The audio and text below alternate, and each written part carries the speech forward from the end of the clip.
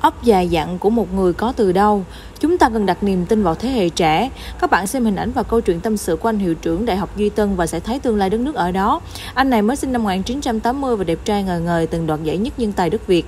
Dám nghĩ lớn, quyết đoán mạnh mẽ, tư duy mở óc ground mindset nên sẽ làm trường đại học mình quản lý tốt dần lên. Đất nước cần giao nhiều trọng trách lớn cho thế hệ 8x 9x có tư chất, được đào tạo bài bản ở phương Tây tiếp thu phương pháp tư duy và khai phóng của người Tây phương để xã hội chúng ta có những nhà khoa học lớn, những tập đoàn lớn để nước ta có thể sánh vai cùng ba dân tộc cầm đũa khác là Hàn, Trung, Nhật. Cái mà giới trẻ Việt Nam còn thiếu lớn nhất đó là sự mạnh dạn.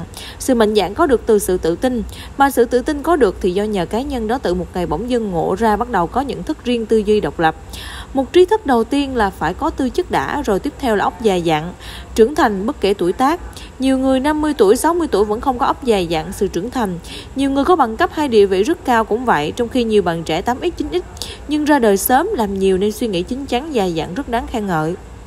Ốc dài dặn chỉ có ở một người chịu va vấp, đi nhiều vài ba chục nước khắp hết các tỉnh thành Việt Nam trò chuyện với đủ các loại người hạng người trong xã hội.